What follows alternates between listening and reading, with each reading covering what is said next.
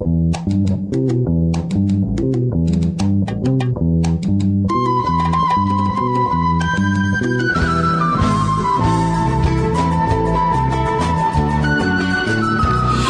empresas, entidades, organismos profesionales nos acompañan tras los pasos de Sati, el enfermero santo de la Patagonia.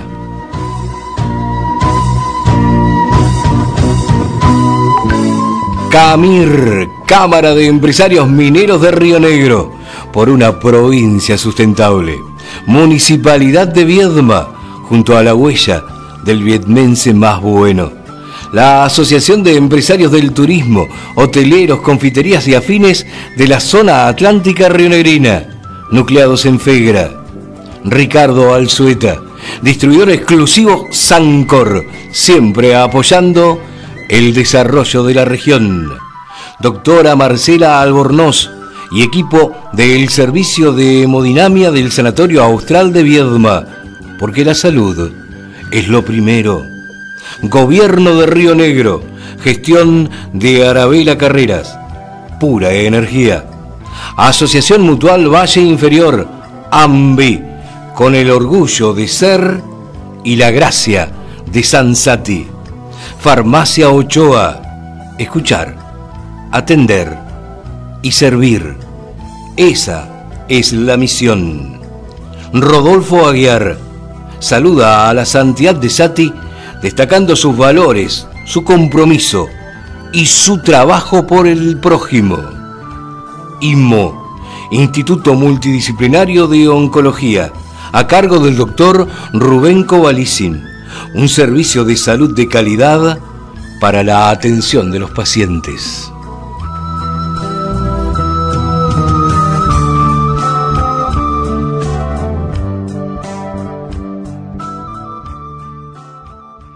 Pero la verdad que estamos maravillados. Este, yo no sé si el padre Pedro, porque no lo hablé con él, eh, pero debe estar enterado ya que la Asamblea Plenaria de Obispos, que creo que se está desarrollando en Rosario, Santa Fe, ha proclamado por unanimidad a San Artemio de Sati patrono nacional de los enfermeros y enfermeras de la Argentina. El padre Pedro Norambuena está en contacto con nosotros. Hola Pedro, ¿cómo estás? Buen día. Muy buenos días Ricardo, buenos días la audiencia y seguimos eh, celebrando y alegrándonos de este gran regalo y las sorpresas que Dios nos va ofreciendo a través de este buen vecino, de este enfermero, de este samaritano de nuestra querida comarca, de nuestra tierra patagónica. Así, así de escueta es la noticia que recibí un hermano vivo que está participando en la asamblea anual aquí en Pilar, en la Montonera, este lugar de encuentro. Así que una alegría enorme. Eh, ¿Es en Pilar el encuentro entonces, no en Rosario? En Pilar, en Pilar, sí, es la sede donde se, se realiza, es la sede de, los, de la conferencia episcopal para las asambleas plenarias. Es allí en Pilar, muy cerca de Luján. Creo que hoy concluyen con peregrinando todos los obispos al santuario de la Virgen de Luján. Eh, pero qué noticia que este, Artemis Sati sea el patrono nacional de enfermeras y enfermeros, esto decidido por el clero argentino, una, este, una buena nueva y una tarea que este, impone redoblar esfuerzos. Días pasados nos contaba alguien, Pedro, que en un encuentro de trabajadores de la salud, trabajadores, no enfermeras y enfermeros, los, los operarios de la salud, gente de Viedma que estuvo este, y en Paraná y le pedían datos de Sati y no siempre hay, ¿no? Este, eh, información, hay que hacer una tarea también de divulgación muy fuerte. Esto va a ayudar.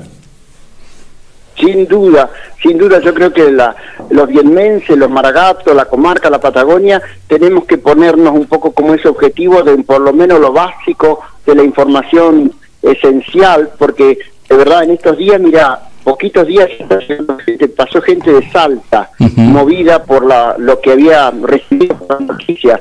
Ayer hubo gente de Don Torcuato y de la zona sur de Buenos Aires, buscando información, estampitas, material, muy movilizados por esta canonización de nuestro querido Don Sati. Por lo tanto, sí, creo que es una tarea para nosotros este, eh, prepararnos, tener material, saber a dónde orientar, dónde informar, eh, y creo que esto está comenzando y creo que es muy bueno y sobre todo ahora que viene el periodo de vacaciones, ciertamente de turismo también en nuestra zona, poder tener las herramientas y las orientaciones como para poder informar. Así que es tarea que, y creo que en estos días hay a nivel de municipio de ahí de Viedma un encuentro sobre pastoral del, del turismo, pastoral del turismo religioso, para seguir eh, eh, ayudándonos mutuamente y me parece que esto es muy bonito también. Sí, señor. Juntos, juntos pensar un poco esta riqueza que tenemos a nivel histórico, cultural, religioso, espiritual, particularmente ahora con el primer santo de la Patagonia, tercer santo en Argentina. Creo que nos ofrece Dios un poco como por decir en bandeja, de nosotros depende que podamos como rescatar el mensaje, los valores, el proyecto de Sati para que no sea solo una estampita o un recuerdo, sino un proyecto que hoy dignifica la vida de nuestra sociedad, con esas actitudes tan lindas que vivió nuestro querido Don Sati, con una hondura espiritual y de humanismo tan grande que hoy necesitamos. Así es. Así es. Eh, Pedro, eh, y en este marco eh, tienen el domingo la peregrinación a Fortín Mercedes también, ¿no? Sí, esa tradicional peregrinación al santuario de María Auxiliadora, a la cual Don Sati participaba con tanto fervor y entusiasmo, él mismo iba anotando eh, los pasajeros, los peregrinos, y él mismo animaba la, la, oración, los cánticos en el vagón, camino hacia el santuario de Fortín Mercedes, donde vivía con tanta devoción su expresión de amor a la Virgen.